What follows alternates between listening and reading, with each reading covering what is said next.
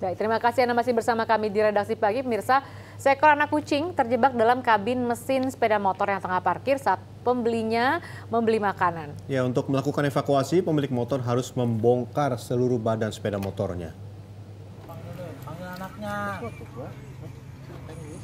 Nampak dari visual, para pemuda ini seperti sedang melakukan servis sepeda motor.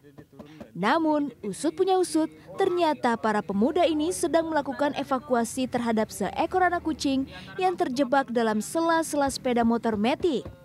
Peristiwa kucing terjebak ini terjadi di Jalan Pisangan Lama, Pulau Gadung, Jakarta Timur. Tak hanya para pemuda yang merasa kasihan dengan perlahan-lahan melepaskan bagian rangka untuk memberi ruang jalan keluar bagi anak kucing.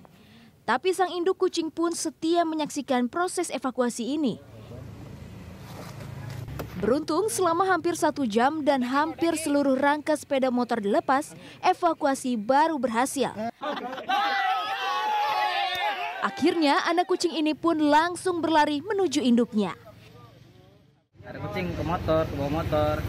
Pas saya mau pindahin motor, udah ada kucingnya. Katanya masuk ke dalam, gitu kan. Ke dalam sela-sela itu, setelah motor bawah gitu, bagasi. Terus gimana tadi proses evakuasinya berapa lama kira-kira? Hampir dua jam kali ya. Hampir dua jam.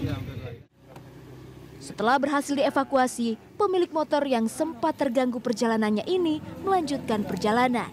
Stefanus Wangge, Jakarta.